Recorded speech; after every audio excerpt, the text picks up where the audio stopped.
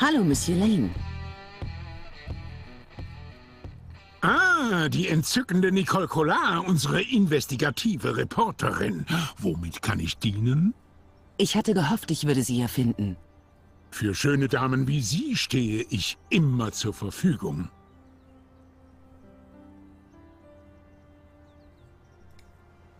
Henris Tod, das muss für Sie schwer gewesen sein. Ja, ich werde ihn sehr vermissen. Wir hatten eine ganz besondere Beziehung. Der Verlust ist schwer zu ertragen, selbst für einen Mann mit meiner inneren Stärke. Was wissen Sie über den Besitzer von La Malediction?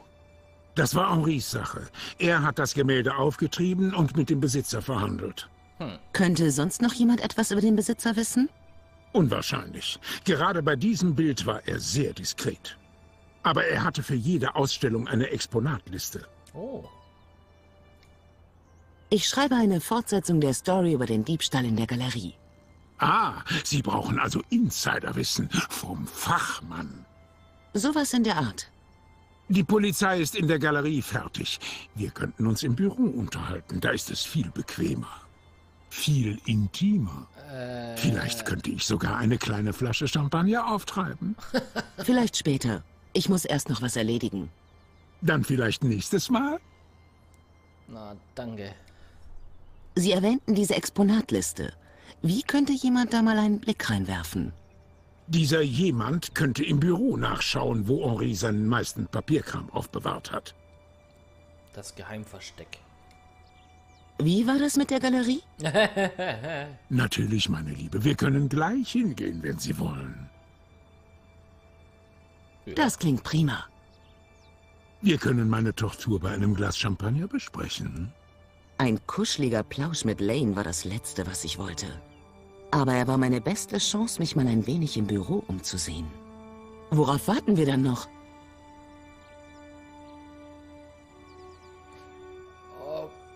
Okay. Das kann ja lustig werden.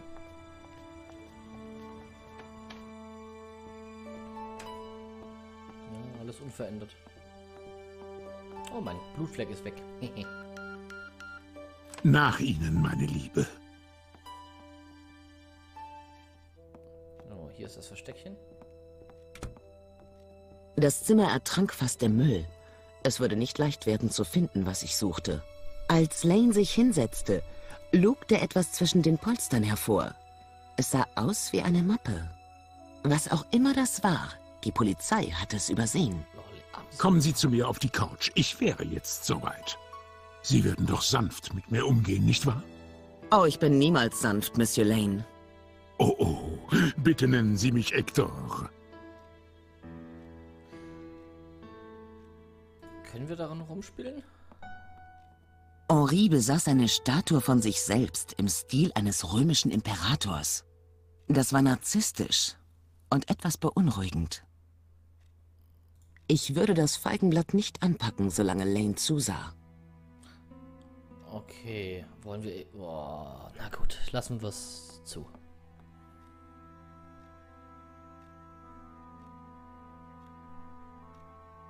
Lane hatte die Mappe nicht bemerkt.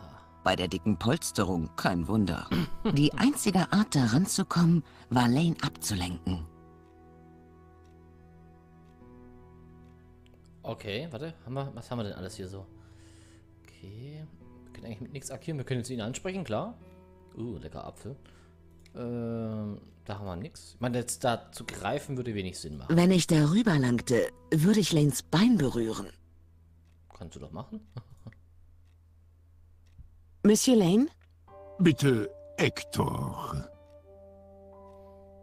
Wie ich sehe, besaß Henri eine Statue von sich selbst. Ja, für einen Mann mit so hohen Zielen hatte er einen alarmierend schlechten Geschmack. Trotzdem werde ich ihn vermissen. Wir waren wie eine Familie. Was wird jetzt aus diesem Laden? Das entscheidet Henris Witwe, die Ärmste. Vielleicht bringt sie es nicht übers Herz, mich vor die Tür zu setzen. Ach, da bin ich zuversichtlich. Können Sie mir irgendwas über das Gemälde erzählen? Es war ein absolutes Vergnügen, es zu finden, ein unentdecktes Juwel. Es ist zweifellos ein fantastisches Gemälde. Was können Sie mir über seine religiöse Bedeutung erzählen? Natürlich steckt in dem Bild auch viel religiöser Symbolismus. Das zentrale Element dabei ist das Heiligenpantheon.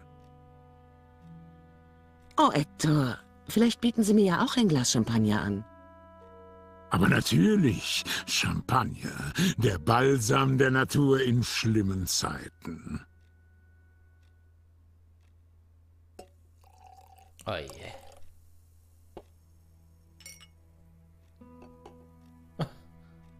Okay.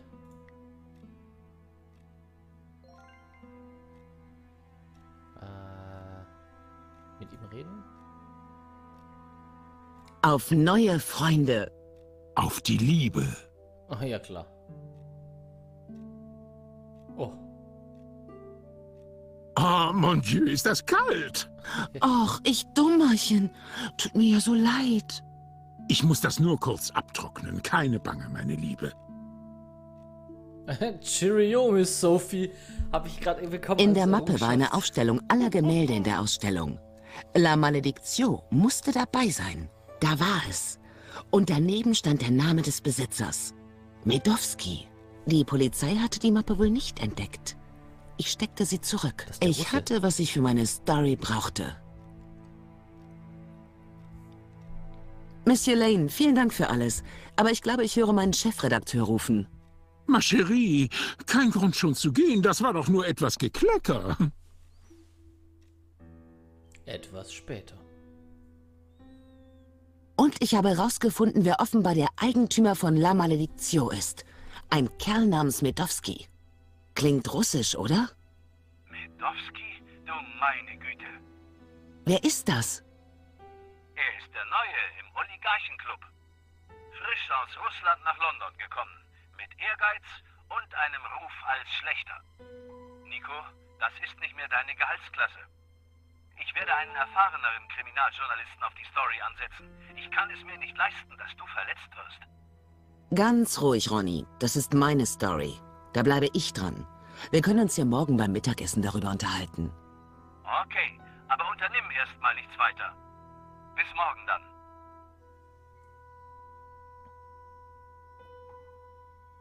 Ronny traute mir diese Story nicht zu, aber ich würde nicht zulassen, dass er sie jemand anderem gab.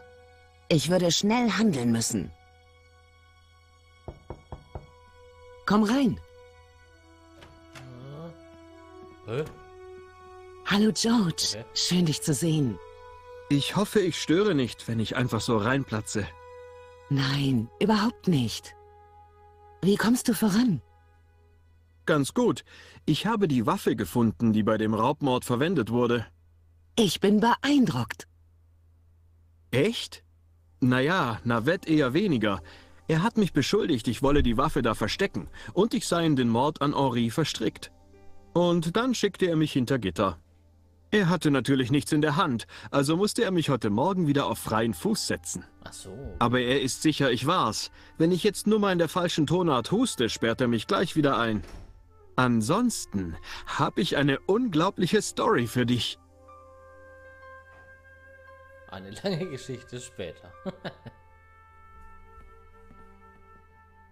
Annette, die Managerin von Vera Security, hat gelogen, was den Eigentümer der Firma angeht.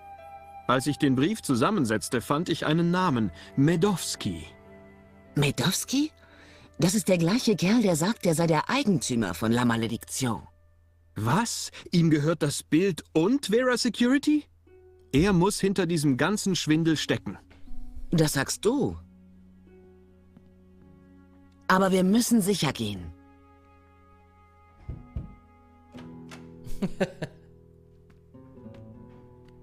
Was zum...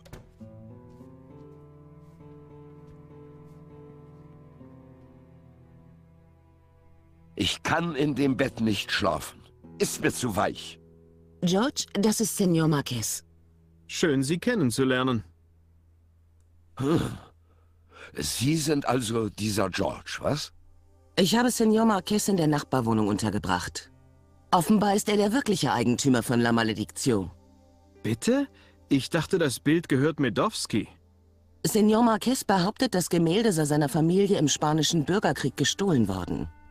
Wirklich? Gibt es irgendwelche Beweise? Senor Marquez, könnten Sie ihm bitte das Foto zeigen?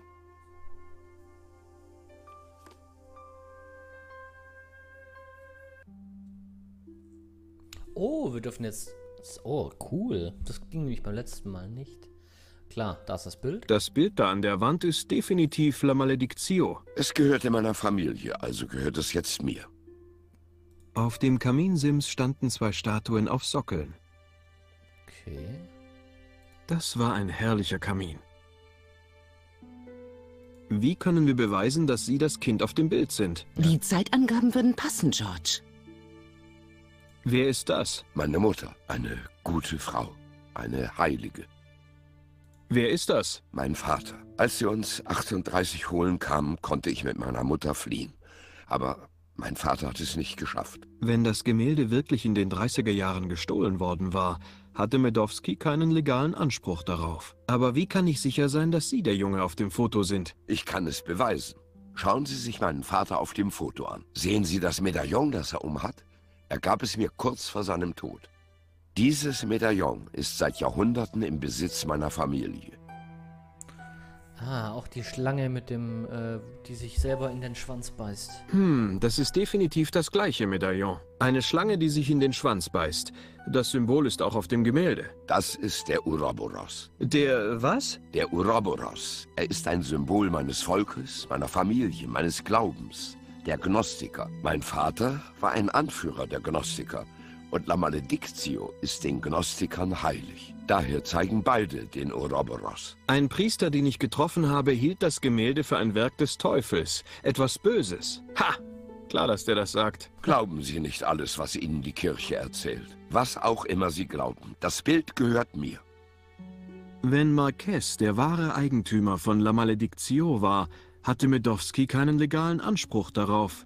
Könnte schwer zu beweisen sein, aber wenn ich es schaffte, bräuchte meine Versicherung nicht zu zahlen. Wenn das Gemälde Ihnen gehört, wie kommt es dann in Medowskis Besitz?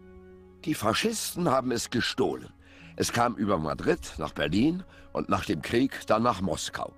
Danach blieb es verschollen. Bis jetzt. Wir müssen mit diesem Medowski reden. Aber wie finden wir ihn? Das ist aber puh, nicht ganz so ungefährlich, ne? Hallo, Nico. Ja, George? Fassen wir mal zusammen, was wir über den Dieb wissen. Na gut, also er hat eine auffällige Tätowierung auf dem Arm. Und auf seinem Helm steht groß Waterloo Motors. Nicht gerade reichlich.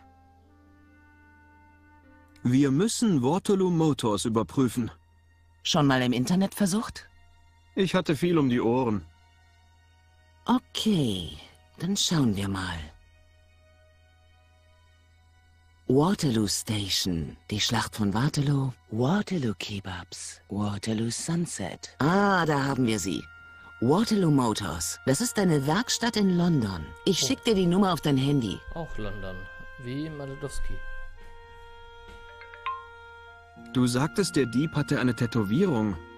Auf seinem Arm ein Totenkopf mit gekreuzten Knochen und dem Schriftzug Headhunters darum herum. Okay, wieso bricht jetzt das Gespräch ab? Nico, Ja? was weißt du über diesen Medowski? Ronny meinte, er sei gefährlich und sehr reich. Er behauptet, der Eigentümer von La Maledictio zu sein. Und ist offenbar auch der Chef von Vera Security, die das Gemälde beschützen sollten. Ist irgendwie logisch. Um etwas zu stehlen, lässt man sich am besten anheuern, um darauf aufzupassen. Aber warum sollte er ein Bild stehlen, das ihm schon gehört? Eben. Wir müssen mit diesem Kerl reden. Dazu müssten wir ihn erstmal finden. Das ist nämlich der Punkt, den ich auch so merkwürdig finde. Warum sollte jemand sein eigenes Gemälde stehlen? Versicherungsbetrug? Aber wieso bringt er dann Henri um? Ich bekomme den Eindruck, dass Henri irgendwie darin verwickelt war. Ich habe die Waffe, mit der Henri erschossen wurde, bei Vera Security gefunden. Wenn Vera wirklich Medowski gehört, bedeutet das, er kennt den Mörder. Annette kann es nicht gewesen sein, aber irgendwas hat sie damit zu tun. Waterloo Motors ist also eine Werkstatt in London? Nicht wirklich überraschend. Ja, ich habe dir ihre Telefonnummer geschickt. Ja, da bin ich mal gespannt, was das bringen mag.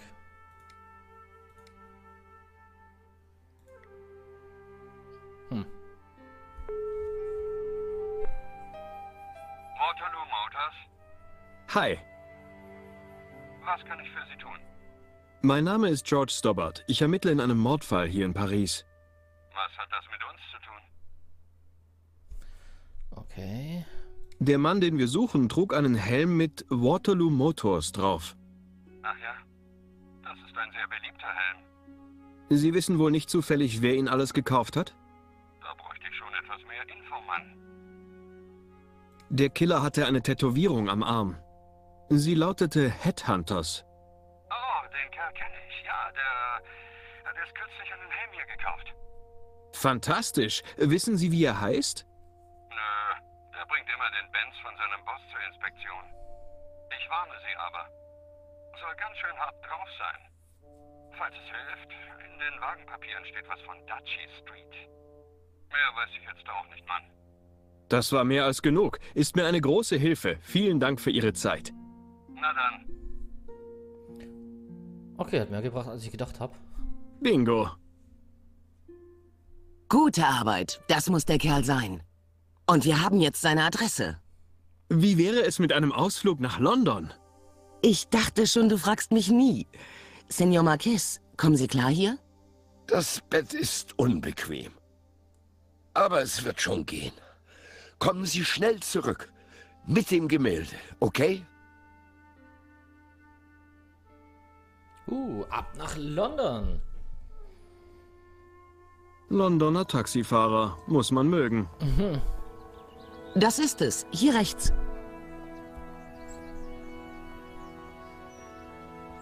Um sich in London ein solches Haus leisten zu können, muss man aber irgendwas gut drauf haben.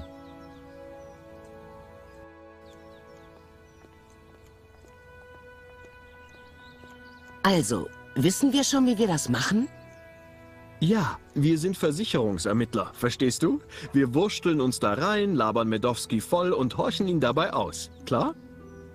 Reinwursteln? Genau, reinwursteln. Du weißt doch noch, wie man sich reinwurstelt, oder, Nico?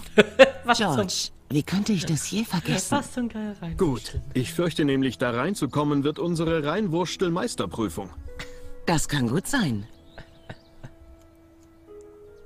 Achso, okay. Dann, äh, klingeln wir doch einfach. Das wäre wohl das Einfachste.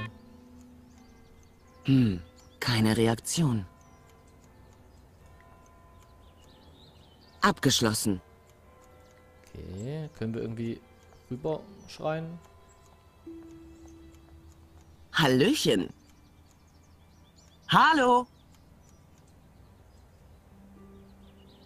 Echt jetzt? Ah, Abflug, Süße. Das hier ist Privatbesitz. Wir wollten zu Monsieur Medowski. Ach ja? sieht, sieht aus wie Putin. Wir müssen Mr. Medowski geschäftlich sprechen. Wer zum Teufel sind Sie jetzt? Ich bin Nico Kolar und das ist mein Kollege George Stobbart. Ach, ist ja niedlich. Können Sie zählen, Schätzchen? Ja, klar. Dann ziehen Sie ab. Denn erstens, kein Schimmer, wer Sie oder Grinsebacke da sind. Zweitens, Sie haben hier absolut nichts zu suchen. Und drittens, ich mag keine Franzschnecken. Comprenez? Der ist ja sehr, sehr nett. Okay, unser erstes Hindernis. Alles klar. Ich frage mich, ob man mal die Charaktere tauschen kann mittendrin. Das wäre auch cool. Hey George, Wie sieht's aus? ernsthaft. Wie gehen wir es jetzt an? Ronny meint, Medowski sei unser Mann. Und wenn Ronny das meint, wird's wohl so sein. Wenn Medowski der Mörder ist. Ist Vorsicht geboten. Das Beste ist also Ich setze meinen gallischen Charme ein. ganz genau. Die Sprechanlage hatte ich schon ausprobiert. Keine Reaktion. Vielleicht bringt sie jetzt ja den gallischen Schaum. Ich probiere es einfach nochmal. Hallo, ich schon wieder.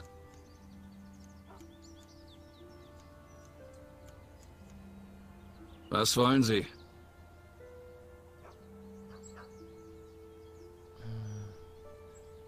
Arbeiten Sie für Mr. Medowski?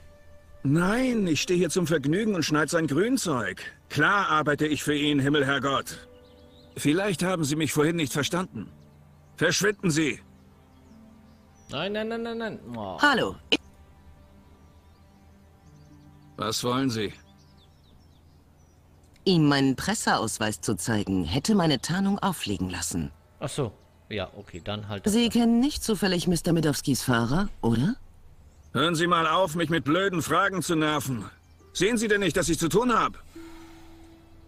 Ein letztes Mal. Hallo, ich schon wieder. Was wollen Sie? Wir müssen Mr. Medowski unbedingt sprechen. Die Sache ist sehr dringend. Sind Sie immer noch da? Ach, verdammt. Okay, das funktioniert so nicht. Ähm. Geht's hier weiter? Nee. Haben wir hier irgendwas übersehen? Ich meine, ich sehe die Sprinkleranlage. Ich sehe hier ein offenes Fenster, das wir nicht nutzen können.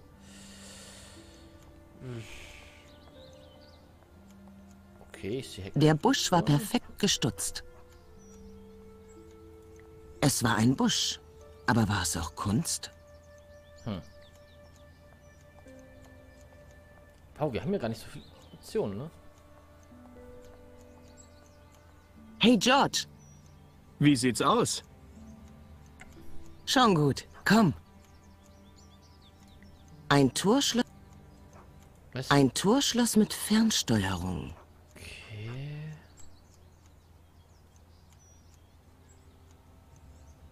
Wir können jetzt sonst nichts machen.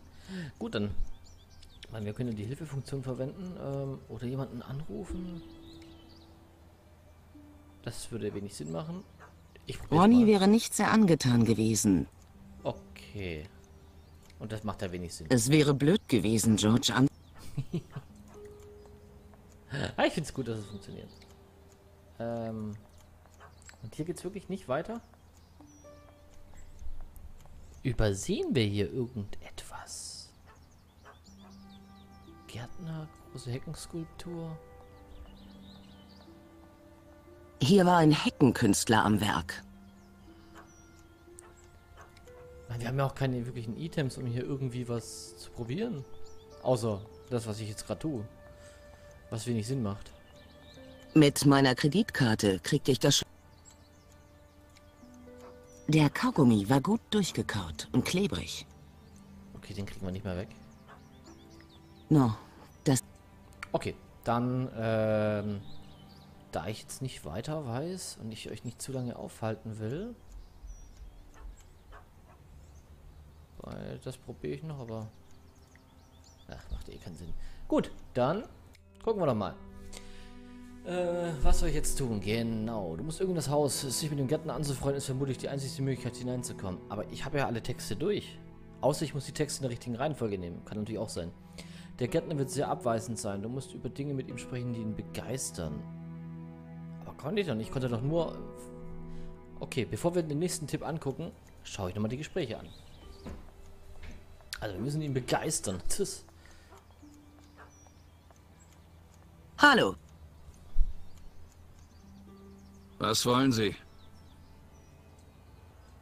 Ach so, dadurch, dass, dass vielleicht, weil wir uns die Pflanzen angeguckt haben. hübscher Busch. Busch? Das ist so viel mehr als irgendein Busch. Oh, tut mir leid. Das ist Kunst, Schätzchen. Um genau zu sein, Formschnitt. Und jeder weiß ja, Formschnitt ist übertragene Ordnung. genau, der bildliche Beweis, dass der Mensch die Natur beherrscht. Eine Metapher des menschlichen Daseins. Schon, aber Reicht noch nicht weh? Nicht für die großen Fragen. Das Leben, der Tod. Recht und Unrecht. Sie sagen es. Streben Sie nach höherem, Monsieur? Tag und Nacht. So ist das menschliche Dasein. Gibt es keinen Ausweg? Doch, schon. Er heißt Meditation. Kontemplation. Verstehe. Das ist unsere einzige Rettung. Da haben Sie mir ja reichlich Stoff zum Nachdenken geliefert. Gern geschehen. Kann ich gut brauchen in dieser schweren Zeit. Das freut mich, Monsieur. Ach ja, also, das ist mein neuestes Werk. Was sagen Sie dazu? Oh, oh.